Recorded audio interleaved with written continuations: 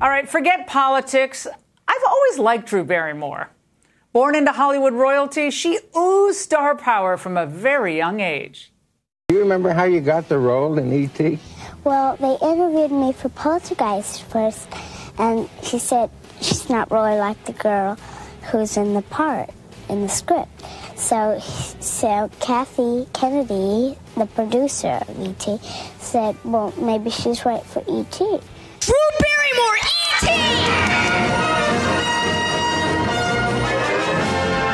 Thank you for this award. I appreciate it very much. At the age of seven, when most of us were playing hide and go seek, she knew the power of film and how to use the camera for maximum effect. Incredibly talented. But by the way, she still does know how to use the camera, like when she interviewed trans activist and influencer Dylan Mulvaney yesterday. It's very personal for me in a world where we're all trying to figure out who we're supposed to be, the risk, yes. The bravery. Oh my gosh, be... I had no idea how vulnerable I was even willing to get. I think coming outs can be so um, intense, and you know, I kind of wanted to add some some humor. It's my lifeline. Now, I, I do think that there was so much that came up this year that I had no idea that I was going to have to figure out in womanhood and and vulnerable things that I didn't even know were there. Well, Mulvaney is a TikTok star whose series 365 Days of Girlhood became a smash hit. Mulvaney, of course, is not a girl, but a transgender who dresses like Jackie O, answering the haters with a syrupy style and a love yourself message, which drove Drew to her knees. Where do you find the strength to keep being the joy? Well, I think having my chosen family and the people that I love to take care of me. I look at someone like you, and I can't imagine anybody disliking you. Oh, please. Do you know, do you want to know, ironically, who uh, dislikes me the most sometimes? Who? Myself. Oh, me too. Oh. And, but. That wasn't planned out or anything. Now let's pause for a moment. What does it mean to young women, the scene you just saw play out? That one of the most well connected and successful women in Hollywood gets on her knees to pay homage to a biological man who makes money advising women on how to be women, how to cope as women. How is this female empowerment? Oh, and note the devious message from Mulvaney about her chosen family. The implicit message here your actual family probably won't celebrate your gender transition, so to heck with them.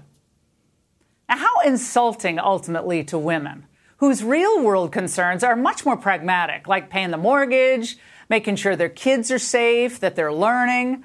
And as far as uniquely female challenges, from menopause to childbirth to breastfeeding, Mulvaney isn't the place to look for answers here.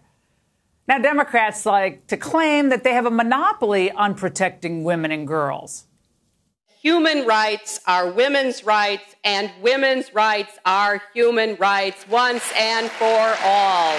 This is part of that girl power network. This is how we rise up together. I take some, for lack of a better term, badass glee in just saying, women, you know how to get it done. I want women to see that you do not get pushed around. But that is precisely what the rabid forces relentlessly sell the trans culture are doing. I was forced to compete against two biological males all throughout high school. I raced against these athletes over a dozen times. And every single time I lost. This is just not okay and it's not fair. And, you know, we're dealing with something that's completely out of our control when we're racing, you know, biological males. Um, the fact that that's still happening, that women are still losing to biological males in their own sport, shows why we need more female athletes to speak up about this. Okay, well, if you're a female athlete and you have the temerity, like those women did, to complain about having a biological man compete against you, you may just be canceled.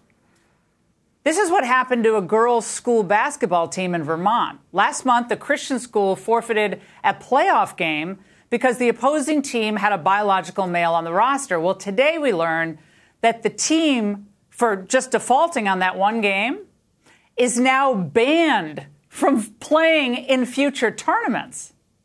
Wow. Drew Barrymore types would probably call them all bigots when they're really just acting in accordance with their faith and, yes, their truth. Let me ask you about the negativity. How have you dealt with it? And, and what's an approach you take? What's your self talk? What do you filter? Is this where feminism in 2023 has arrived? For women to be socially accepted today, they need to prostrate themselves to men who identify as women? But this, of course, isn't the first time the left has signaled subservience to left wing ideology. No justice, no peace. Those who wish to, we will now kneel for our moment of silence.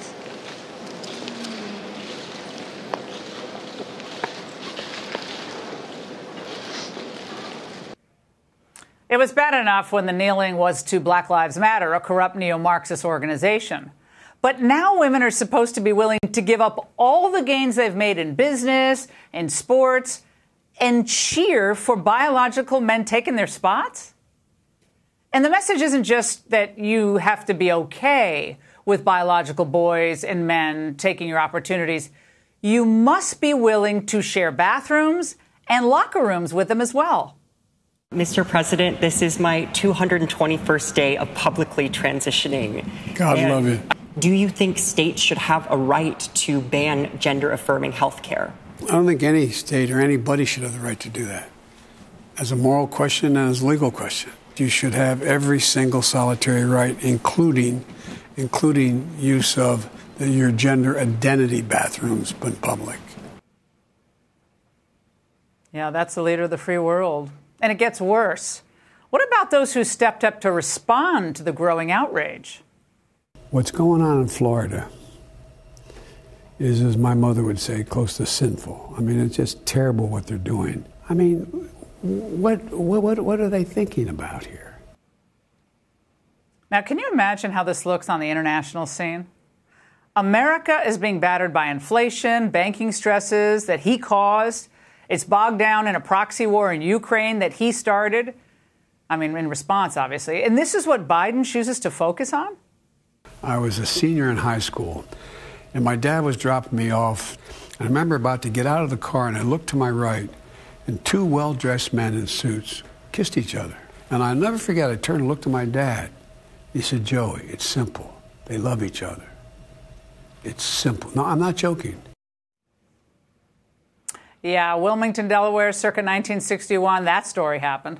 Just like he was a civil rights activist who was repeatedly arrested, or an award winning student who earned three degrees, or he's at home among Puerto Ricans and the Puerto Rican culture. All of that was made up too. And by the way, for decades after this epiphany, Biden opposed gay marriage, remember, saying it should be between a man and a woman. Now, this anti woman woke obsession hasn't just compelled Biden to make stuff up, it's compelled medical schools to do the same. Indiana University School of Medicine is now forcing all students to read lessons that insist that cervical cancer screening is not just for women, but biological men as well. Well, it's that way in order to avoid offending certain patients. Now, you notice they're never worried about offending women who think this is both anti science and anti women. They're not worried about that at all. So now, 60 years after the advent of the modern women's rights movement, the left has effectively made women irrelevant. A spot that a young woman could get in college admissions, positions in corporate America, in the military, in sports, in government can all now be taken by men. And women, you need to affirmatively celebrate this, complain, and again, be ostracized.